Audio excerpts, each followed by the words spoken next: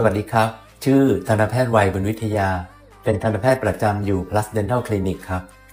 วันนี้จะมาอธิบายว่าทำไมการจัดฟันแบบโลหะ ถึงได้รับความนิยมสูงครับ เป็นที่ทราบกันดีอยู่แล้วว่า การจัดฟันแบบโลหะได้รับความนิยมมาก ในกลุ่มวัยรุ่นและกลุ่มคนวัยทำงาน การจัดฟันแบบโลหะคืออะไร คือการติดเครื่องมือ หรือแบ็กเก็ตที่ผิวด้านหน้าของฟัน เราใช้ลวดมาร้อยที่ bracket นั้น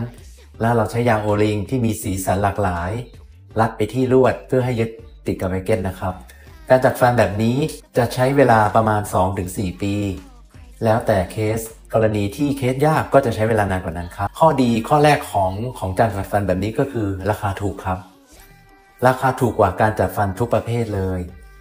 ข้อดีข้อที่ 2 การจัดฟันแบบโลหะนี้สามารถเปลี่ยนยาง ซึ่งมีสีสันมากมายเนี่ยสามารถเปลี่ยนได้ทุกเดือน สุดท้ายนี้ สรุปว่าการจัดฟันแบบโลหะนี้สามารถช่วยแก้ปัญหาฟันได้ทุกรูปแบบครับ